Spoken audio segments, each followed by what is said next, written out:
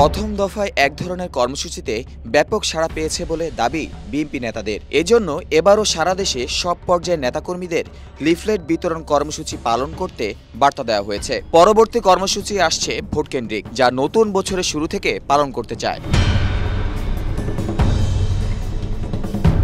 সেক্ষেত্রে অসহযোগের মধ্যে ভোটের দিন পর্যন্ত হরতাল কর্মসূচি দেওয়া হতে পারে। গণকারফিউ নাম দিয়ে সে কর্মসূচি পালনের আগে জনগণের দ্বারে দ্বারে লিফলেট পৌঁছে দিতে চায় বিএনপি। তাতে করে ভোটকেন্দ্রিক আন্দোলনে জনগণের পূর্ণ সমর্থন থাকবে বলে প্রত্যাশা করছেন নেতারা।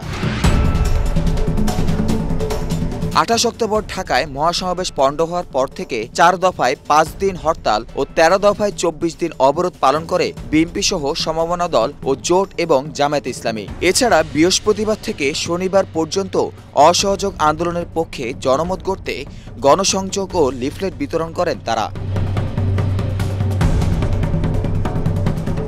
গণসংযোগ ও লিফলেট বিতরণ কর্মসূচি সফলের জন্য দলীয় সব স্তরের নেতাকর্মীদের প্রতি আহ্বান জানিয়েছেন বিএনপির সিনিয়র যুগ্ম মহাসচিব রুহুল কবির রিজবি তিনি বলেন, শান্তিপূর্ণভাবে মানুষকে উদ্বুদ্ধ করতে নেতাকর্মীরা এই লিফলেট বিতরণ করবেন। ভোট বর্জনের জন্য জনগণের কাছে লিফলেট তুলে দেবেন।